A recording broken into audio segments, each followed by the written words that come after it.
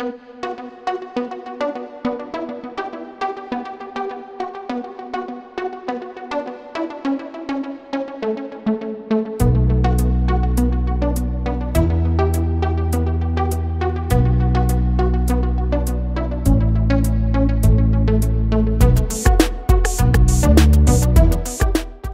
hai hai, plan-plan netizen di seluruh Indonesia Di mana pun kamu berada, yang terkadang komentarnya luar biasa Ketemu lagi bersama kami di Yeni Channel. Pastinya channel yang sangat informatif dan juga akan menambah pengetahuan Anda. So, kali ini jangan ke mana-mana Kita akan membahas topik-topik menarik yang ada di seluruh dunia.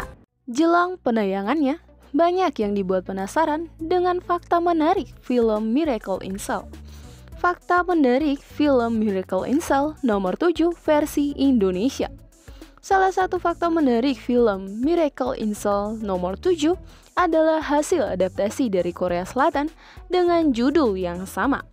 Nah, berikut ini adalah 5 fakta menarik film Miracle in nomor 7 Indonesia versi Yeni Fakta. So, jangan ke mana-mana, tetap stay tune di channel Yeni Fakta. Karena bersama Yeni Fakta, kita akan mendapatkan informasi dan pengetahuan dari seluruh dunia.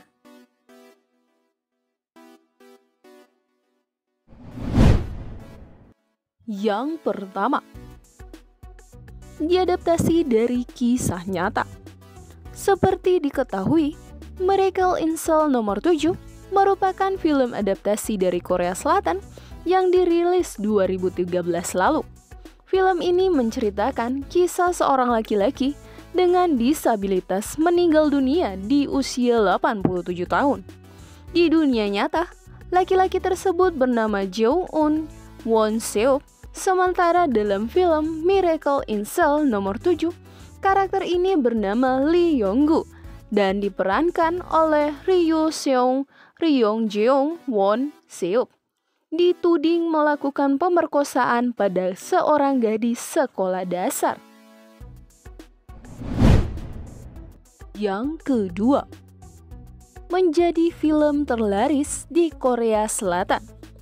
Film Miracle in Cell nomor 7 menjadi salah satu film terlaris di Korea Selatan. Film ini berhasil meraih hingga 12,8 juta penonton dalam 46 hari penayangannya. Tak hanya itu, Miracle in nomor 7 juga meraup keuntungan hingga 81,1 juta dolar Amerika Serikat atau setara dengan 1,17 triliun saat perilisannya. Yang ketiga, angkat genre drama komedi. Lebih lanjut, film Miracle in Cell nomor 7 mengangkat genre drama komedi. Meski begitu, film ini juga menguras air mata para penontonnya. Banyak adegan mengharukan yang disuguhkan dalam film ini. Terlebih film ini juga mengangkat kedekatan antara ayah dan anak perempuannya. Yang keempat, penjara di dalam studio.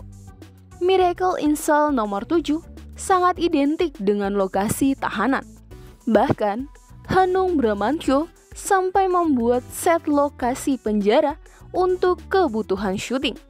Dirinya mengatakan bahwa di awal Hanung berkeinginan untuk mengambil adegan di penjara asli.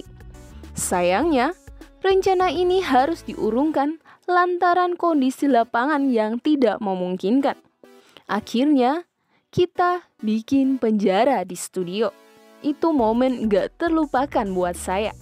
Harus buat penjara satu banding satu, tapi semua di situ jadi aktor. Ucap Hanung. Yang kelima, Nmes menjadi pengisi soundtrack. Lebih lanjut, penyanyi Nmes dipercaya untuk mengisi soundtrack film Miracle in Cell nomor 7 dengan lagu Andaikan Kau Datang. Menurut Nmes, memiliki kesempatan untuk mengisi soundtrack Miracle in Cell nomor 7 menjadi sesuatu yang membanggakan. Saya sangat bangga terlibat dalam proyek ini. Saya menyanyi dengan hati saya, ucap Enmes. Sebagai informasi, Miracle in Cell nomor 7 dibintangi Vino G. Bastian yang menjadi pemeran utamanya. Kemudian ada Indro Warkop, Mawar Eva, Brian Domani, Tora Sudiro, dan Graciela Abigail. Film ini mengisahkan tentang perjuangan seorang anak dan ayahnya yang memiliki keterbelakangan mental yang difonis hukuman mati atas kesalahan yang tidak dia lakukan. Nah, demikianlah ulasan 5 fakta menarik film Miracle in Cell nomor 7 Indonesia versi Yeni Fakta.